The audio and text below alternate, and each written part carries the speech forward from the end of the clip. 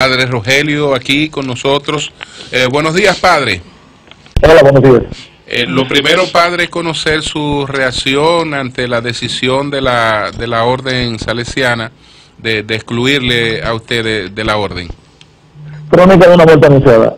Tú no puedes hacer otra cosa porque es eh, una piedrecita contra un gigante que real efectivamente, pues precisamente no es verdad que va a permitir que un simple cura de calle, de pueblo, eh, tome una posición frente a un mandato de ellos. Eso es crónica de una muerte anunciada. ¿Usted entiende que no hubo desobediencia? Claro que no. Le pregunto. No, a, mí, a, mí no, a mí no me, a mí no me, nunca me cambiaron. A mí me dieron una orden de traslado. Y en esa orden de traslado hay tres motivos por los cuales no se, no se podía, no, no, no reúne la condición operativa de ser. La primera, el primer motivo es este, que el superior que me manda a Colombia no tiene jurisdicción en Colombia sino en las Antillas. Por lo tanto, yo tengo que tener una carta donde el superior le haya decía que me podía recibir y no la tengo. Segundo, esa, esa orden de traslado que, yo, que ellos me dieron eh, no, dice que era por tres meses el curso, pero en ningún sitio está escrito. Por lo tanto, debo tener una tercera carta que diga pues, precisamente que el curso iba a estar cerca. Y lo tercero, que es peor, el tercer motivo que cuando terminara el curso, ¿qué yo iba a hacer? ¿Hacia dónde iba? ¿Qué iba a hacer? ¿Regresaba para acá? ¿Me quedaba allá? ¿Qué? No, no decía nada. Por lo tanto, tenía que tener una tercera carta que me dijera, cuando tú termines el curso, va hasta el sitio, en ese sitio tú vas a hacer eso, eso, eso y lo otro. Porque yo no estoy improvisando a ser salesiano a ser cura. Yo tengo 39 años siendo salesiano y 28 años de sacerdote. Por lo tanto, no me pueden tratar como si yo estuviera comenzando a tirar. Eh, padre, Por lo tanto, no, no, obedece, no obedece las condiciones para obedecer. Tomando en cuenta ese criterio, ¿cuál es el próximo paso tras la, eh, la expulsión de la Apelar a un juicio canónico. Tengo 10 días. Para, que, Eh, este- para que me demuestre por qué me, va, por qué me votan. ¿Qué es, ¿Quién el juicio, ese- ¿Qué es el juicio ¿Y quién lo canónico? ¿Ante qué instancia usted apelaría entonces? Tengo que apelar frente a la congregación de religiosos en el mundo. Y entonces, pues, ellos comienzan una investigación que puede durar un año, dos años, tres años, el tiempo que sea. Y mientras tanto usted sigue siendo... Sí, porque la, Su la, papel. la- la orden es... Mientras tanto, mientras tanto, mientras tanto, la condición que yo tengo en este momento es como me liberan de toda responsabilidad en la congregación salesiana, el de acuerdo al derecho canónico, la condición es clérigo vago. Es decir, que no tiene eh, un domicilio y que no tiene en este caso, pues. Independiente, una- algo así.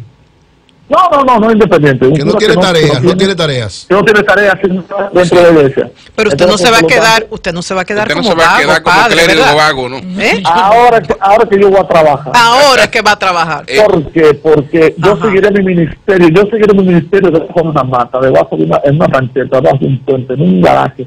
Seguiré siendo mi ministerio. A mí me ordenaron cura para siempre. Sí, Y pues, por lo tanto, como soy cura para siempre, sacerdote para siempre, eh, me pueden poner un impedimento. Pero, ¿qué está por encima? Lo que he recibido de ellos o una prohibición de ellos. Vamos a ponerle una balanza. Y Jesús de Nazaret dice la carta a los hebreos que fue sacerdote, sumo eterno sacerdote, no porque le impusieron la mano porque lo ordenaron, no porque perteneció a una tribu, sino por su servicio al pueblo y la obediencia a Dios. Espérate, hay fundamento yo te lo puedo agarrar. Eh, Dentro de la orden, padre, hay algunos que lo apoyan a usted. Eh, a veces cuando hay situaciones así, algunos apoyan al no excluido, al que se va. Ah, perdón. Pero no se atreven a hablar, no se atreven a Pero, hablar porque, sí. porque mandaron un comunicado que ningún salesiano podía referirse al caso Rogelio. Sí. Entonces, eh, su evangelio, su trabajo, do- ¿se seguirá realizando en la misma área donde se encuentra? Acá en Sí, sí, yo, yo, Cibao tengo- yo Central. estoy aquí en la, Ve- estoy en la ciudad de La Vega y ahí tenemos la oficina en las manos de la Fundación Padre Cruz, una, una, un espacio que lo estamos pagando, nos prestaron ese dinero y estamos ahí haciendo todos los trabajos. Por ejemplo, ahora tenemos el campamento para los niños, unos 600 niños que tenemos durante todo el verano. Eh, seguimos el trabajo con los ancianos en la calle, seguimos eternamente en la calle y seguiremos el trabajo igual. Pa- padre, otra otra de los de las cosas que se alegaban, aunque no eh, no en el comunicado, era precisamente lo de la fundación, que eh, ellos plantean que por el voto de pobreza no podía usted operar una fundación. Yo le renuncié a la fundación, ya, ya no sé, yo, la fundación yo sencillamente lo que asesoro. Es decir, usted no Eso está es en lo directivo. Eso es Ok. bulto. Ok. Eso es bulto, eso es mentira. Eh, eso, pa- eso es, es todo justificación inválida. Bueno, padre, no obstante la apelación, ya usted ha dicho de que, de que habrá un cambio, ¿verdad? Eh, por lo menos de, de cara a la entidad a la cual usted pertenece a lo interno de la Iglesia Católica. Ya eh, eh, que en lo adelante tenga ciertos niveles de independencia para movilizarse en lo que el juicio se realiza, planteará, por ejemplo, que usted se va a mudar o usted va a seguir en la demarcación en la cual está haciendo su trabajo hasta Ya, ahora. ya, ya tengo, tengo todo recogido en la parroquia y me voy para allá, quedo en la calle. Eh, ¿Esa calle indica que usted se mudaría a Santo Domingo, por ejemplo? No, ya, yo, yo no sé dónde, no sé dónde, donde me cojo la noche me quedo. Bueno, Y, y económicamente Y- se sostendría de, del apoyo de amigos, de Ay, relacionados. la, la, la gente no, deja- no me dejará morir. Yo no tengo centavo, no tengo absolutamente nada, pero tengo la gracia de Dios y el Y- y- y usted no tiene- beneficio del pueblo. no tiene domicilio, padre.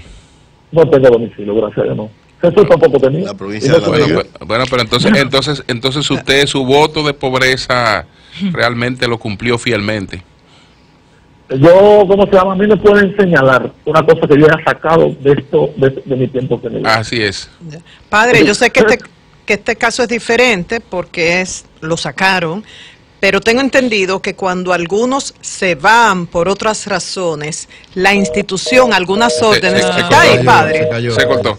Bueno, Ah, bueno. bueno, entonces vamos a continuar. Eh, le, pide, le pide excusa a Sonia, por favor, para que él sepa que se cortó la llamada. Sí. Pero ya como habíamos conversado con él, eh, todo lo esencial, Sí, sí, vamos a continuar con Marilena. Ok. Pero le- le- sí.